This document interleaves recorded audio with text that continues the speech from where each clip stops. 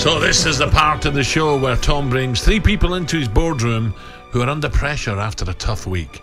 He then fires one of them. Who's in the boardroom this week, Tom? But the first one's got to be the security guard on the building here, yeah? Because every week I come here, he don't let me in. He just don't know who I am. I go, mate, I come here last week. He just looks at me and thinks I must be robbing the gaff or something. He just goes, have you got a pass? Then decides to come out and get me in because I'm never allowed in the building. So he's definitely in the boardroom.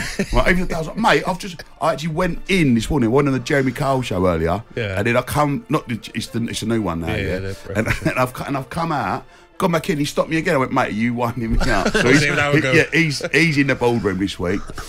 Um, the second person, obviously, I went to West Ham Newcastle on Sunday. We was one Great one- game, great eh? game, one 0 up. Soucek scored a blinder within like eight minutes or something. Yeah, took my little boy up there.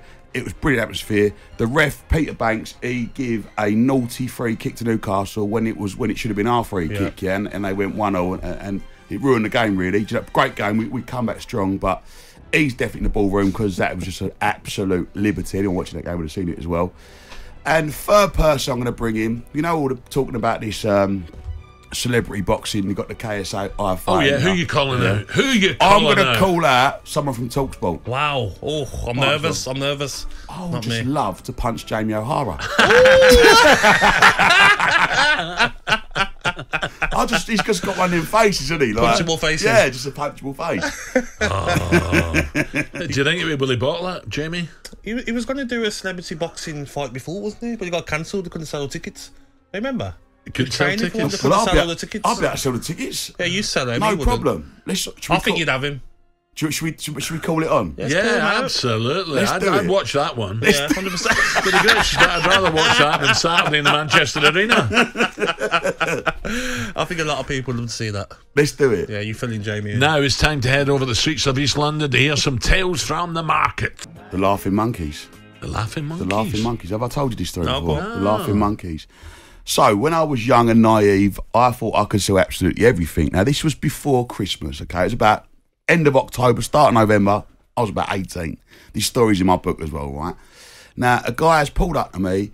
Uh, he said, "Look," he said, "I've got I've got a massive clearance of Hamley's toys." I went, "Hamley's, fantastic. I'm interested. What are they?" He said, "They're, they're these little laughing monkeys. He said, There'll be a winner in the Christmas." I said, really? All right, go on. And how much are they? He said, well, they retail for 30 quid, Tom, and you can have them for two and a half quid, I think they were. I thought, lovely. But there was 3,000 of them, yeah? So I thought, oh, well, I got all my money. I thought, it's Christmas coming up, laughing monkeys, kids are going to love them. We're going to sell the lot.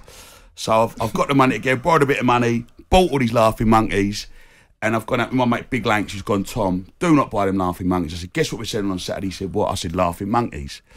Well, I've put them all on my store, and as I'm putting them, they had these little pins out the back where they pull out a little tab and it turns the battery on.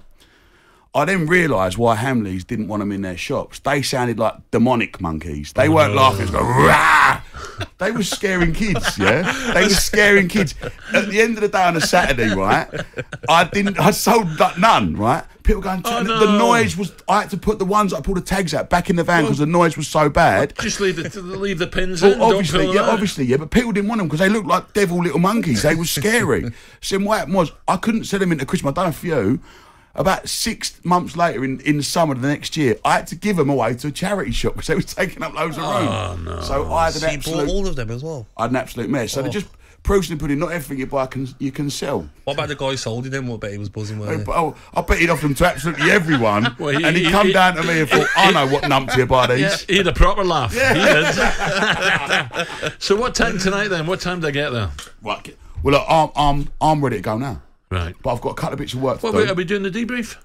Well, if I'm allowed, I think I've got to do an interview or something with the newspapers downstairs. But We'll no, for you, no, no, no, no. I'm up for a Debrief, bit. debrief. Man, debrief. I'm, Yeah, I, yeah, yeah. I, I love the debrief. Thursday's my favourite working day. Yeah, This we'll, hang, is- we'll hang on for you. yeah, let's do it. Right. My train's booked, Done. You, No, you you're not- you're going to not come going in. anywhere. Come on, what are you doing? I'll nick his case, don't worry. He's not going anywhere. Talk Sport Breakfast with Alan Brazil. Thursday and Friday morning, 6 till 10. On AM, on DAB, via the Talk Sport app, and on your smart speaker. Talk Sport.